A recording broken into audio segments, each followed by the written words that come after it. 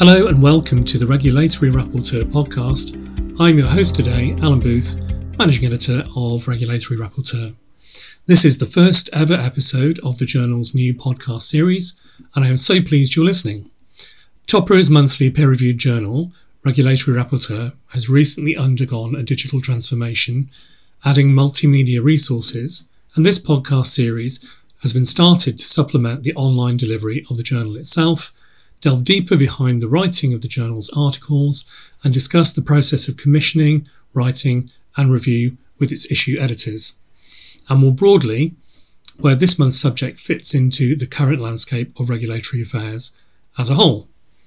Our first two episodes will cover the April issue of 2023, our first 100% digital issue, and today I will be discussing the main focus topic of Latin America with issue editor Vickie Goff Head of Marketed Products and Regulatory CMC at Mundipharma in the UK. Hello, Vickie.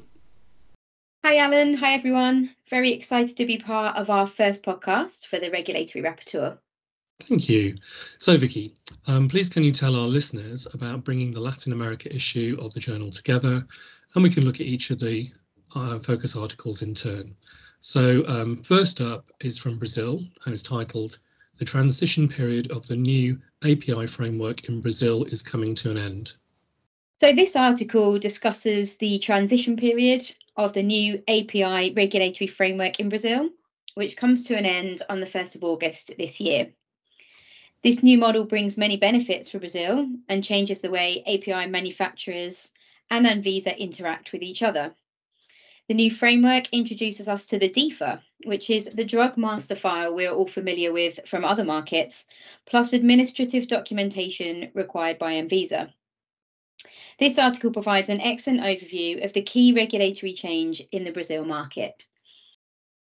Okay, that's great. Um, moving on, next up is registration and post approval variation of pharmaceutical drugs in Latin America. Um, now, I remember from reading this that um, it's a very, different framework there um, that we're used to um, in the EU and uh, and the US. Yes, correct, absolutely. Um, and this article focuses in on that post-approval activity and the challenges that we see in a number of different LATAM markets. It provides a good summary of the key regulatory requirements, and this is a good reference document, I think, for our readers. I mean, it also presents the opportunities for harmonisation and presents the key challenges that people experience within these markets when doing post approval change. It also expands out to cover topics such as GMP and local testing requirements, which are also more unique in some of these markets. Um, just as an aside, do you know if um, there are moves for convergence and harmonisation um, sort of taking place within and between the countries in Latin America? So there are definitely a lot of activities within Brazil, uh, for example, who have recently, relatively recently, become part of ICH. Um, and are looking to harmonise more of their guidelines with, with ICH and into the EU and, and US markets. I think this is always a topic that regulators are always working on and looking at, but it, it just takes time to get implemented. And do you know whether they, there would be um, moves to harmonise more with the US framework rather than with the EU? I guess because that's the sphere of influence of the FDA. That's an interesting question. I think it depends on how the market operates currently. So the in the US we have more of the annual reporting style for post approval, whereas in the EU we have our, our EU variation guideline, um, which requires submissions for most changes. So I think it depends on whether the market aligns more closely with that annual reporting style. Um, so in Brazil, for example, they do use the, the annual reporting, um, or whether they align more with the one by one submissions like we do in EU. Okay, thank you. That's really interesting. Um, Okay, and our final Latin America topic article is an overview of the regulatory framework for advanced therapies. So, what's going on there? So, this article focuses in on advanced therapies and it looks at much newer regulations that are emerging in this area, uh, particularly for LATAM, but also for the EU and US markets. It provides a full overview, so all the way from product manufacturing through into your clinical trials, your initial registration, and then all of the activities for life cycle maintenance. And it really highlights that the regulatory framework is in the process of being developed in these markets for advanced therapies, but it really needs further engagement and further development, not just in Latin America but across the globe as well. Okay, thank you. Um, and we should also note that we have an interview with Yaneth Guijar, who is the executive president of Pharma in Colombia. Um, but please, can I just say quickly, thank you for joining me today. Um, it's uh, very good of you to do this. No problem. Thank you very much, Alan. And I'd like to take the opportunity to say thank you to all of our authors who contributed to the LATAM issue. Thank you, Vickie. It's been great to speak to you. Coming up, we will hear from authors Priti Shah and Anna Litsiou, both of AstraZeneca in Cambridge, who will be discussing their article Does Sole Dependence on Reliance Models Contribute to a Sustainable Healthcare Ecosystem? The TOPRA Symposium is Europe's premier conference for healthcare regulatory affairs. This year's symposium is going to be held in the beautiful city of Lisbon, Portugal from the 23rd to the 25th of October. The symposium's programme will cover a wide range of topics under its usual framework of human and veterinary medicines, medical devices, and IVDs. We will also be holding a support day specifically for small to medium enterprises. It promises to be another fantastic event, and we can't wait to see you all in Lisbon. Please go over to www.topra.org forward slash symposium to book and for further information.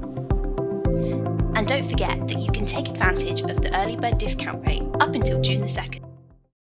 Hello again to the RegRap pod. I'm fortunate to be joined by the authors of one of our standalone features in April's issue, which is entitled Does Sole Dependence on Reliance Models Contribute to a Sustainable Healthcare Ecosystem? Therefore, I am pleased to welcome to the show lead author Priti Shah, who is Executive Director of International Regulatory Strategy at AstraZeneca in Cambridge, and fellow author Anna Litsiou, Director of Policy and Intelligence within International Regulatory Strategy, also of AstraZeneca in Cambridge. Welcome, Priti and Anna, and thank you so much for joining us here on the RegRap Pod. Hi, hi, Alan. It's great to join, and we're really excited to be part of the first podcast series for Reg- Regulatory Rapporteur. Thank you. Uh, hi, Alan. This is uh, Anna. Thank you for, very much for this opportunity and breaking the frontier, being the first, the first digital um, issue. I'd like to take the opportunity to thank you on behalf of Regulatory Rapporteur and its readers, to thank you in person for your article. It was an interesting and thought provoking read and made me reconsider the challenges and lessons brought into our collective consciousness so sharply by the COVID 19 pandemic. Before we go on to discuss those lessons and what they mean for reliance models in more detail, please can we first recap on AstraZeneca's role alongside the Oxford University team in bringing the world's first vaccine, Vaxzevria, to market in order to combat the threat of the novel coronavirus. It's a phenomenally interesting story in our recent history that you and your company played central roles in solving literally existential problems Priti, please can I turn to you first to discuss your company's experience at what was the bleeding edge of innovation? Yeah, thanks, Alan. So um, AstraZeneca signed the agreement with the University of Oxford in April 2020, um, and that was for global development and distribution of the, the COVID 19 vaccine, uh, which we called uh, the SARS CoV 2 vaccine. The collaboration aimed to bring uh, to patients the potential vaccine under that agreement, and AstraZeneca would be responsible for the development and worldwide manufacturing and distribution of the vaccine. So, from April 2020, we started collaborating with Oxford on rolling out the vaccines. Uh, they had already started collaborating with the MHRA um, on the clinical trial program and design, and importantly, the, the DGCI in India as well. So when we entered into the collaboration, we reviewed, assessed, and started working with regulators all around the world. We started the rolling review in September 2020 with our first approval at the end of uh, end of December 2020, and within nine months of the collaboration being signed, we had we had actually got our first approval. our aim was to get the vaccine registered as quickly as possible, simultaneously in all markets. And we did this with out of the box thinking and innovative way, ways of working. We worked very closely with both regulators and governments. Um, and we filed the same global package to uh, regulators all around the world so that all of the authorities had the same information at the same time and could collaborate and work together to assess the quality, safety, and effectiveness of the product. The data was filed um, on a rolling basis from September. Uh, and this did complicate things a little bit because it, different authorities were at different stages of review, but we wanted to submit the data as quickly as possible. Um, we actually filed in uh, as many countries as we could in parallel, including the WHO, which facilitated access via the COVAX consortium. So this resulted in 126 licenses. Um, you know, a high proportion of those were were you know we obtained within six months, um, and for the low and middle income com- countries that were designed to, that were going to be supplied by COVAX, we actually worked with WHO and used their platform for submission. So that meant we had one dossier which was made available um, to all low and middle income countries, including questions, responses, assessment reports. And so we didn't have to file separate applications in 100 plus markets to support that COVAX supply. So it was really through great collaboration with regulatory authorities around the world, WHO and governments, we made great strides in the regulatory process, making Vaxzevria actually our quickest filing in AstraZeneca. Um, you know, we we worked really hard with all health authorities around the world, and we had over 200 health authority meetings with authorities around the world that ordinarily we would not have had direct interaction with. Um, and this is really this close collaboration, explaining our data package, explaining how we develop the product, and the true partnership that we had and flexibility from from both sides is what really helped us to achieve what we thought was impossible but became possible. Um, mm. And we're hoping that some of those so some of those sort of ways of working can can be put forward for the future. I'm just wondering, did you face the normal sort of practical questions about um, translating into local language for um, for you know various authorities that don't use English? No, so that was one of the agilities that we worked with the authorities on. So we the same dossier was submitted in English um, to everywhere around the world, and and with respect to language, you know, um, we had what we called an a, an e label at EPI, so we had a QR code on the pack, so we had a one pack strategy as well. So we only had one pack that went all around the world with a QR code on it, and the QR code took you to a website where you clicked on your country and you could get you know your prescribing information in that language. So it was the first product we we've done this for.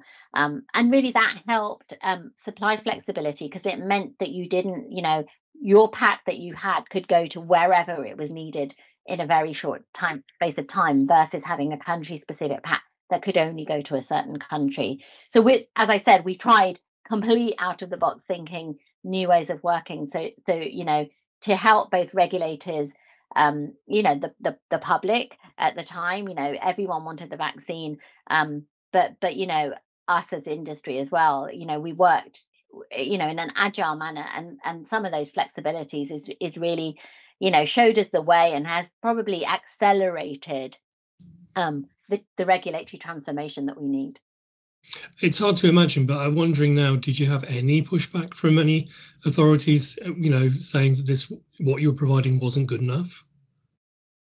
Um so we we yeah, we did have pushback, um, but we explained, we we sort of explained the package, we explained what data we were going to have when, um, we explained why we felt from a scientific perspective it was um you know it, it, was robust and and you know we explained our rationale for that decision making.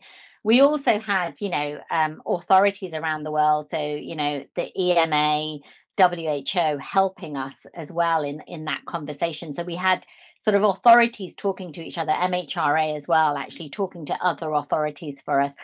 And you know um, via the World Bank as well. You know, we had the TGA helping, you know, our, the Thai, Thailand regulators on a, on assessing dossiers. Um, and even though the FDA never registered, you know, our, our vaccine, and we we didn't actually register our vaccine um, in the US, um, the FDA actually helped us with some of this, you know, with respect to donations as well. So, you know, what we saw was this huge, you know, the huge collaboration across governments, authorities, industry, um, which, you know, really helped us achieve what we thought was impossible. And I think that's the sort of collaboration, you know, we we would encourage in the future. And, you know, I think it makes the world a much smaller place. So you, you can you can see you can see it in light, you know, the one global dossier, you know, authorities working together. You, you know, we actually saw it in practice with with Vaxzevria. Yes, a smaller and safer place. Um, okay, do you think it was a significant factor for regulators that Vaxzevria was developed from a pre-existing and therefore trusted technology, um, the viral vector model, um, first used in the 70s? I think initially it was a factor for regulators that the platform had been used before, but honestly, the you know the totality of the data with respect to the quality, safety, and efficacy was assessed, um, and you know assessed in line with the benefit risk profile of of um, Vaxzevria. The new technology mRNA vaccines um, were also assessed based on the, exactly the same standards, but but obviously the science was new. Um, but really, you know, the difference. So so I would say, you know, it was the the approvals and the assessment was based on the totality of the data and and you know like any other product was was based upon um, review of quality safety and efficacy and the risk benefit profile.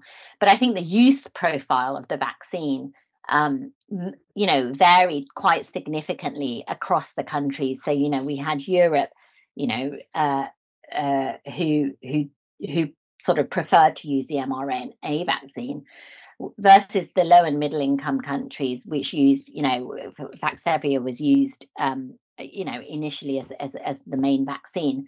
And that was due to a variety of factors major ones however being supply and availability of supply. So that was the big issue at the time is is who can supply the vaccine how many how many doses can we supply and you know how much of the population can we vaccinate yeah, and also Alan to add, uh, you know, because also uh, the technology was much more established, it, it raises a bit more less challenges in terms of intellectual property. Hmm. Also, mm. can you know you can transfer the technology like very much uh, very similar, and then you create these uh, regional, local capabilities uh, that, and and allows faster production uh, and supply. Uh, so sometimes some of the kind of more older, more established, uh, you know, enables, you know, much, much more low income, medium income countries to, uh, you know, uh, stand on their own two feet because they have lower barrier in terms of intellectual property and they're less complicated. So yes, I do. and also thinking about um, low and middle income countries as well. Um, your products um, didn't require special refrigeration, um, as the mRNA products did as well. So um, a lot easier to move around. And that brings today's RegRap pod to a close. My extended conversation with Priti and Anna goes into much more detail and will be running as a full length interview and a dedicated podcast, which will be posted to the RegRap site in just a couple of weeks' time. Thank you for listening to the RegRap pod. We hope that we've brought you more insight into the journal's development and that we've given a worthwhile peek behind the curtain to meet the editors and authors and bring further understanding of the articles and content. Many thanks again to our guests for joining us on this edition of the podcast. This episode was presented by the journal's managing editor Alan Booth and produced and engineered by me, Daisy Edwards, from Topra HQ in London. If you would like to advertise with us, please contact Eric Smith at eric at topra.org. And if you have any other inquiries, please email me at daisy at topra.org. We look forward to welcoming you next time when we will be discussing advanced therapy medicinal products with May's issue editor Harriet Edwards. Until then, goodbye for now.